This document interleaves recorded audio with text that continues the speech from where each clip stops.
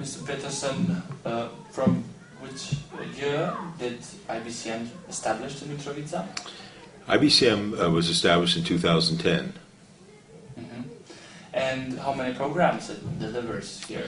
And We, we currently uh, offer three uh, spurs. Uh, one can uh, major in public administration, in uh, general management with a focus on marketing and entrepreneurship, or a very innovative program, the management of agriculture and environment. Mhm. Uh, And with those three uh, spurs, uh, you can earn first a two-year degree, Mhm. or if you stay for another three semesters, you can get a bachelor's degree. And these degrees are uh, EU accredited degrees. Uh, we have done that because we've partnered with a consortium of Danish institutions. And what are the strengths, the main strength of IBCM, like giving the, the people the abilities to, uh, like in future, to be uh, well prepared competitors in markets, uh, uh, in uh, labor market? Which are those strengths that you uh, deliver to the? Well, uh, well, there are many strengths, but the the the the, the focus, uh, and you see even on our motto, Mhm. from theory to practice. So, um, what our focus is on in helping to grow the economy of uh, of Kosovo, and that means to uh, do an excellent job of preparing our students to either uh, get a good job or start their own business, and uh, so we're very uh, focused on giving the balance of appropriate theory and then lots of, of practice. Unlike uh, some academic uh, activities, uh, mathematics or philosophy, um, or, or even uh, I should uh, chemistry, um, business is much more of an art than a science. Uh, always two plus two equals four Yes. but always when you have the same advertising campaign, you don't always get the same results. So this kind of an art uh, is very important, and it's important that people practice it. And so we do this balance of theory and practice, focusing on the skills that are necessary for people to get jobs. So that's our uh, uh, main focus. We also teach in English.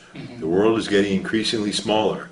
Uh, just like uh, airplanes fly around the world and all the air traffic controllers speak in English so they're not crashes, the universal language of business is English. So you may be doing business with a, a, Chinese company or a Japanese company, but you'll communicate in English. So uh, we teach in English. We have an international faculty. We teach in a very interactive way. So our classes have lots of practice.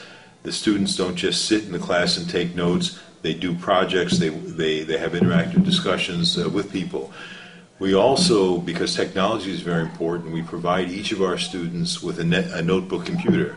So they, they're using that computer during the time they're here and they're leaving uh, our school with the, those skills. The, your message for the young people of Mitrovica, or as you said, Kosovo? Right. Well, uh, I would say um, one of the other things I've learned is when opportunity knocks on your door, you should consider uh, answering it. And to the young people of Kosovo, uh, the governments of, of uh, uh, Denmark, Holland, and Sweden are funding this school. And they're taking the taxpayer dollars. So the workers in these countries are paying taxes to their governments. Instead of those governments spending the money in their countries, they're giving it to the young people of, of uh, Kosovo to, to get an education. And so we're, we have a wonderful opportunity to uh, give a world-class education to students so they'll be prepared to get a job.